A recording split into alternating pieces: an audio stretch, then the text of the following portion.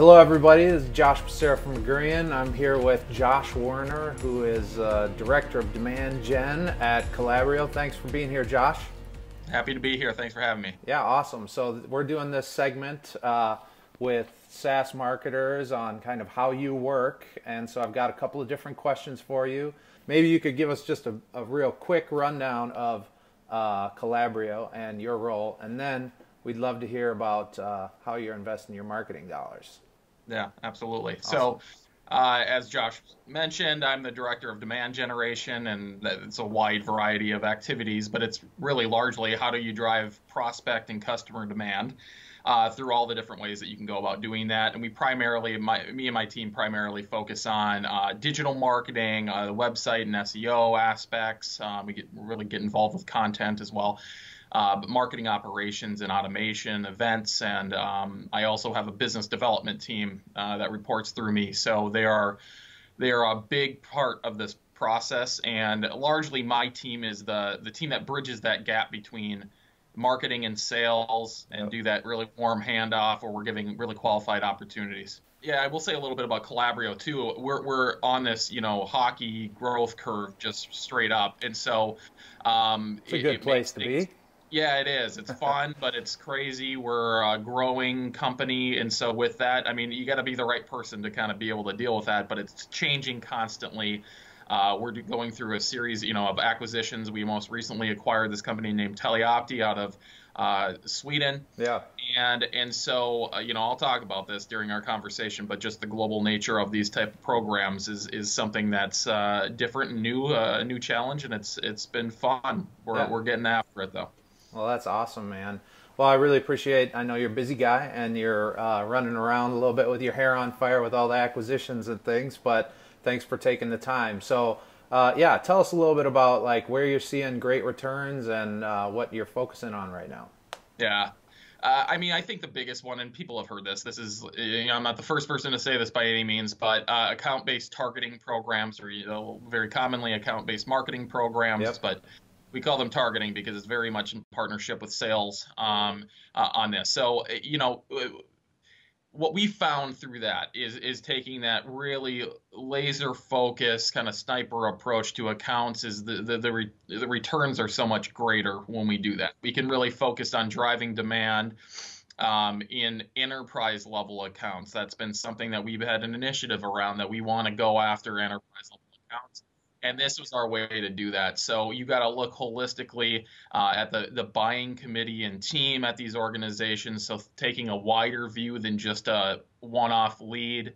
Um, and, bringing that all together is, is something that we're, we're very much focused on. And uh, we launched our first program at the end of 2017 and we continue year after year to invest more heavily in in that aspect uh, to the tune of um, you know I've got a team of eight BDRs global BDRs right now wow. Um, we're asking for 11 more next year to be able to support sales growth. That's and, some hockey uh, stick growth, yeah. Yeah, it is, and and it's it's exciting time on, on the team. Just you know, they are such a in, uh, instrumental part of this program and allow us to to go out. We can scale a lot of the marketing programs, but when it comes to the prospecting efforts that that matter, yeah, uh, yeah. that that needs to to happen with the BDR uh, team. So, right. Um, so uh, that's a big area, but we're also investing in some of the just normal, uh, I think, digital things. Like SEO is a big thing for us. We've got, sure. been going over a big SEO project the last uh, last year to stand up pillar content, just mm-hmm. write content a little bit differently, um, and make sure that we're ranking in in, in the search engines and. Um,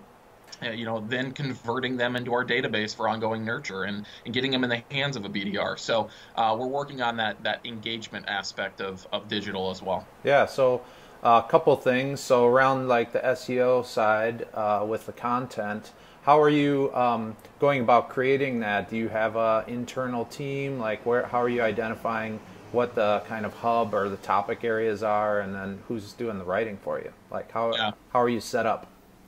Well, it's a kind of a hodgepodge here a little bit. We work through a variety of people, but we have.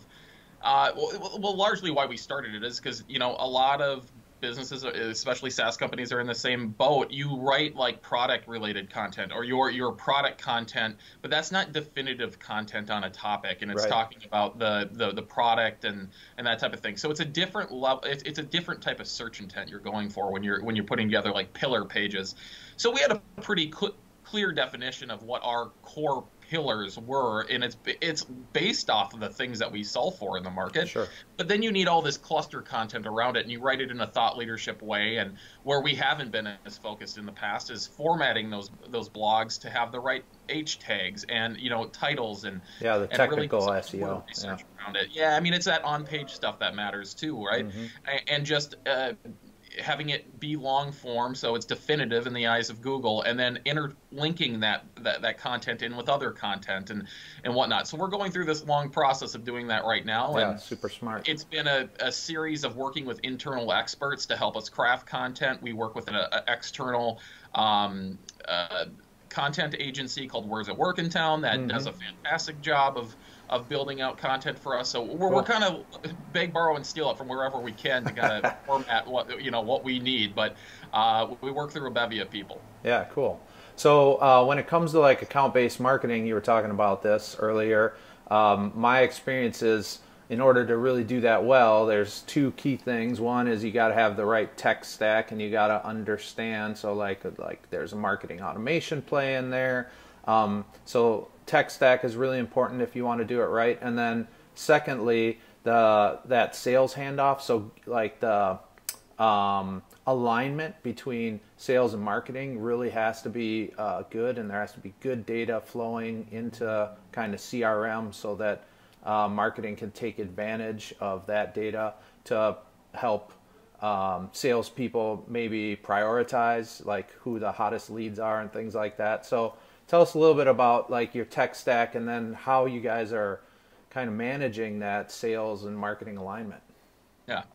Um, well, yeah, and I'm just very lucky to have a very robust tech stack here that allows us to be able to do that. So from outbound program, you know, we, we use so many tools, just like many marketing, uh, you know, Google Analytics and stuff, all this free stuff. Yep. But like core technology that we're like spending a significant amount of budget on that really drive these ABT programs for us is, uh, you know, everything centers around Salesforce and Pardot. Salesforce is like the centralized uh, working zone and all the notes. It, it, that's Yep. where the sales and BDR uh, team works off of. So we look to roll up everything under an account record in, in Salesforce. Um, and then you have Pardot, which is the brains behind the operation and allows you to do all the. It's it, I call it all the time the backbone behind everything that we do because it's like the the smarts of it, like Yeah. how, how are you going to route things, um, Right. the notification engine. You know, there's a lot of communication engine in there, and so obviously everything re- revolves around that. Yep. But then we have got some other cool technology. We have Terminus that we utilize for display advertising and Okay. intent monitor, uh, intent monitoring, uh, and multi-touch attribution reporting, and, and those things are all critical. But the the intent monitoring there is really important because that helps us boil up accounts and bring to the table accounts that we feel like we should be going after based on search intent Sure. um, at these organizations. And it also allows us to see accounts that have been interacting with our digital properties, which is uh, again another way to prioritize. I mean, a big, a huge thing with with account-based targeting programs uh, is it's not that. i it's scaling it too too big is the the problem. It's it's focusing on the the best accounts that you can Yeah, go after. that because in order- prioritization.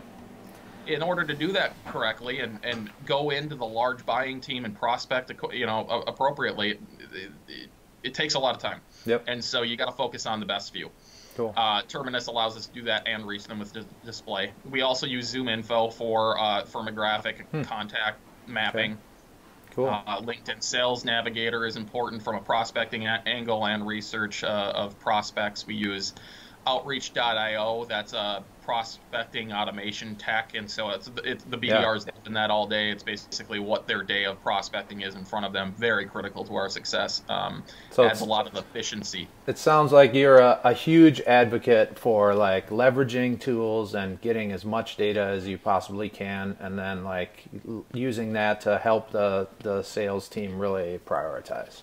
Yeah, I mean, with any of this, though, I mean, you can't just go out and get a big tech stack and be like, "Boof, man, I got myself an ABT strategy." Yeah. it's just it just fuels it. And so, if you yeah. don't have people to run this stuff, if you don't have people to act on the data, um, it, you know, you gotta you gotta kind of get the your priorities straight with how you're going to run a program like this. So yep. don't go out and just go buy a big tech stack and thinking that's going to solve it. You need right. the right people to be able to manage that and and leverage the data. So yeah, that's you, you asked advice. another question. Yeah, you asked another question around data and, and all that. Yeah, sure. Data is is going to inform our, our efforts here, right? Mm-hmm. And uh, I'm in a really lucky position where I I manage BDRs, so they do like 80% of the prospecting when it comes to these targeted accounts, and yep. uh, that what sales rep is not going to love to have that type of a resource. And so that's a natural connection point between me and the sales teams. And the, the BDRs partner very closely every day with, with their sales reps, and we're aligned to very, you know, the same goals. Um, and so for, for me, that sales alignment has been uh, easier than in the past when yeah. you are like just working with a sales department to hey go prospect. Right. they, they don't love doing that so. Yeah, yeah that extra helps. layer that extra layer kind of helps as a buffer and acts as a translator i would say right?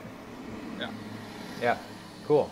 So uh, you had kind of alluded to some of this earlier but uh, biggest challenge today that you you're facing yeah, for me, it's scaling these programs that we've built in North America and, and making them global programs. So mm-hmm. while we have had global operations, um, uh, after this acquisition uh, that we had, especially of this Teleopti product, uh, they were largely, I think, like 70% of their uh, revenue came from international markets, right? Yeah. And that's good from from a Calabrio perspective because we're just broadening our our uh, our reach. Yep. But it, it adds challenges in markets that I haven't necessarily been in or heavy in and really focused our time and effort. So I'm doing a lot of work right now between okay, what countries absolutely need to be uh, spoken to in their native language, and how do we, what assets then do we need for that, and sure. and, and can the tech go out and reach these people in a wider, uh, you know, um, in a wider geographic region. So um, it's been kind of fun to go back to the drawing board with some of that stuff, and we're going to kind of see what works and yeah. you know kind of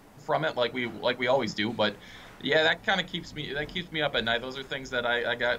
You know, we're, we're doing a lot of planning around that right now. Yeah, are you starting to like uh, see the need for like a distributed team and everything then as well across the globe and managing all that?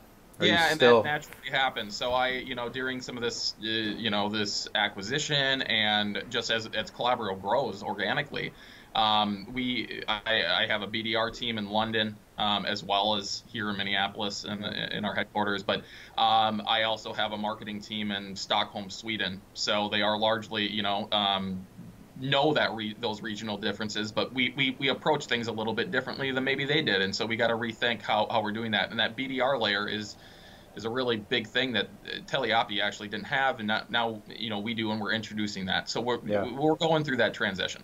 That's great. All right, so last question is about kind of what you're excited about for 2020 from a idea experiment standpoint or anything that you you see on the horizon.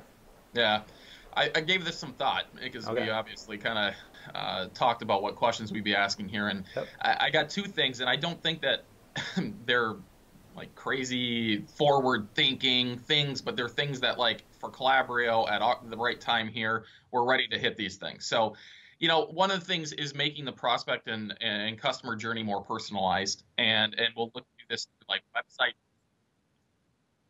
uh, more granular persona development, um, and, and you know, just understanding the needs of specific people and being able to talk in their language more. The more that we can do that, uh, the better. It just makes your your message resonate. So.